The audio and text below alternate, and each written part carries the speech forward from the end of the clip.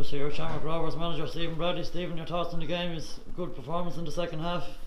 Yeah, I thought first half we were we were poor and they were good. To be fair, I thought second half we were a lot better and, and maybe could have nicked at the end, but draw was probably a fair result. The two players up top, it changed things, I suppose. Then in the second half, gave us more width as well. So Yeah, no, I think first half there was a number of reasons why we were off and second half we at half time we rectified that, and I thought second half we were, we were really good. Ronan Finn went off the time holding his ribs. Did you assess that yet, or is it? He's been struggling for weeks with his ribs. He got a bad a bad knock a few weeks back, and he's been struggling with his ribs, and and uh, he got a knock directly on the spot that's been hurting him, and and uh, obviously couldn't breathe, so we had to get him out. Just good football news all week, I suppose. With Graham getting a call up. What's your thoughts on that? Yeah, it's fantastic. He uh, fully deserved. I think he's been excellent this year.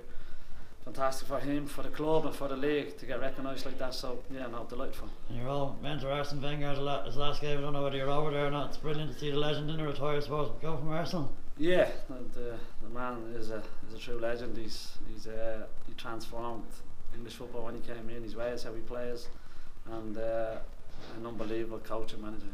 Thanks very much, Stephen. Cheers.